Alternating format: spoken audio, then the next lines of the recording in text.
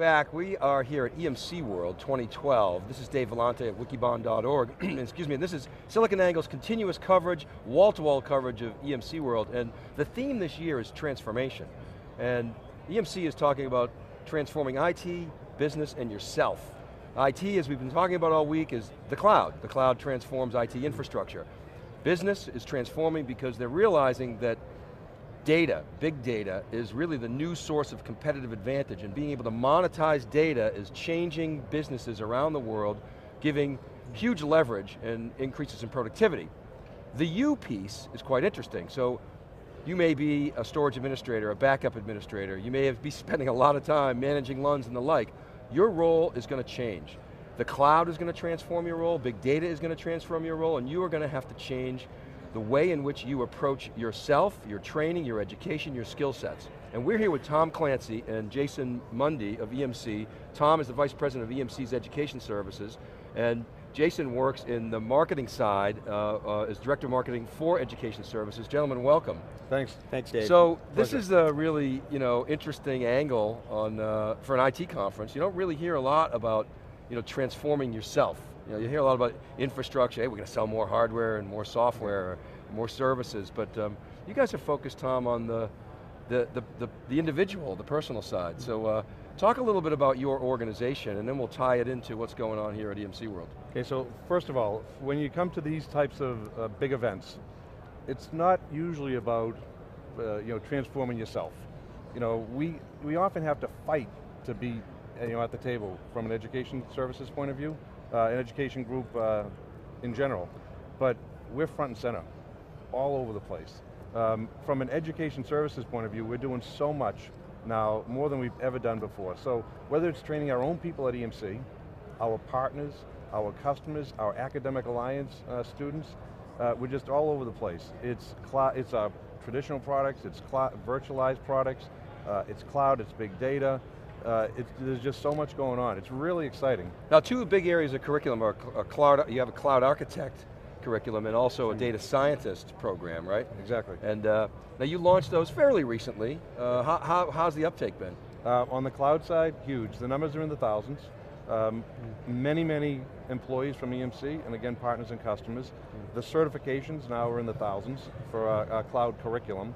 And on the data science side, uh, that's new but we have a big uptake. Uh, customers especially love the fact that we have a data science course because you know, in the past it was business analyst. Uh, now it's business mm. analyst, but it's also this new data science thing that helps to monetize their businesses. So uh, exciting, great stuff. So Jason, how do you socialize this? How do you get the word out about these programs?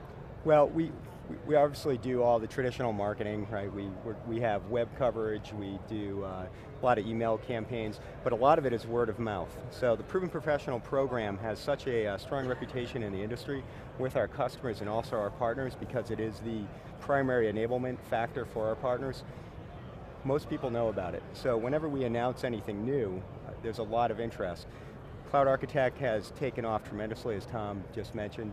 Um, we literally do not have to do a lot of marketing around that because of the transformation that's happening in the industry. Our customers, partners, and actually people outside of our customer base are coming to us for that. Same thing with data science, huge interest in it. You know, we've just started to um, get some of the, the certifications uh, through.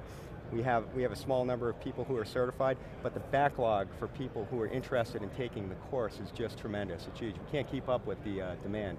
So we're trying to scale that out right now. It's just, it, it's sort of, it's a huge wave coming at us. So what types of people are coming to you? I mean, it makes sense, you guys, you know, your traditional storage business, you're selling to a lot of storage admins, operational people, um, and I can see them saying, hey, we're transforming our business to cloud, we're moving to IT services, I better really, you know, get up to speed on that. Is that sort of the traditional storage administrator base, the IT manager base?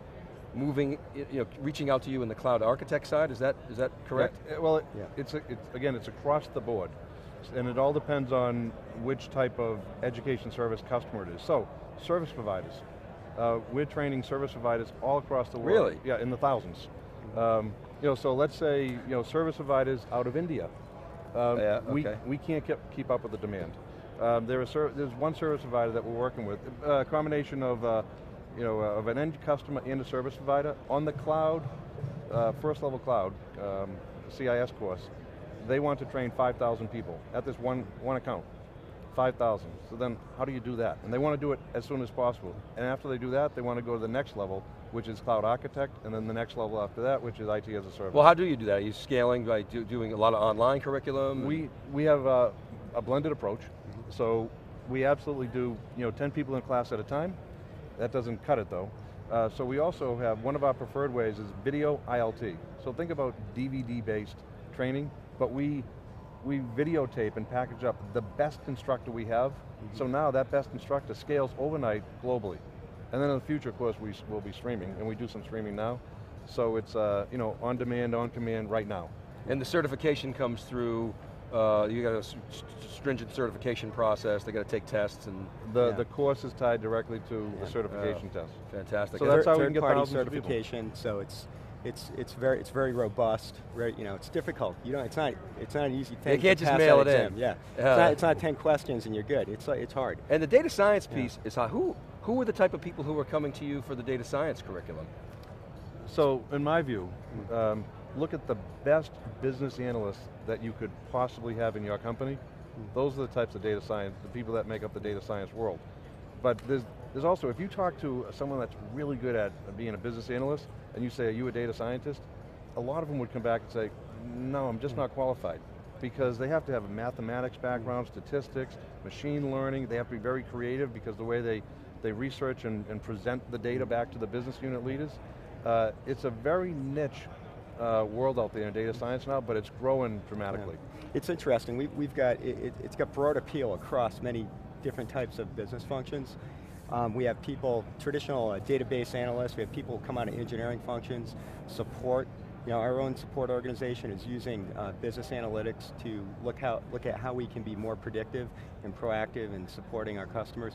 So we have a lot of different folks who are interested in this curriculum coming from our customers, as well as our own employees, obviously, um, who don't really traditionally think of themselves as data scientists, but they're actually performing a lot of that analytical function. So it, it's quite interesting to see the, the demand and the interest that we're getting from across the industry uh, for the, for the Fantastic, so this is a critical time in our industry. We talk about the waves, we heard Joe Tucci talking about the waves. They only come around once every 10 years. Don't miss this one, really. I mean, I, I really want to urge people that you really have to think about you know, your personal growth. I know you're busy, you're, you're deploying new systems in July 3rd, you know, and when everybody else exactly. is on the beach. But you got to step back, think about your own career, think about what cloud means to you, think about what big data means. There's a real opportunity out there, and, uh, and it's great to hear from EMC, you guys, Tom and Jason, thanks for coming on theCUBE and sharing yeah. with us. Uh, uh, how do people get more information? Where do they go? Um, education.emc.com. Okay. Or if you want, give me an email. Tom.Clancy at emc.com and I'll take care of you. All right, big, swamp them. All right, thanks for watching everybody. Uh, keep it right there. We'll be back with uh, more coverage from EMC World live from Las Vegas 2012. Thanks, Dave. Thank you.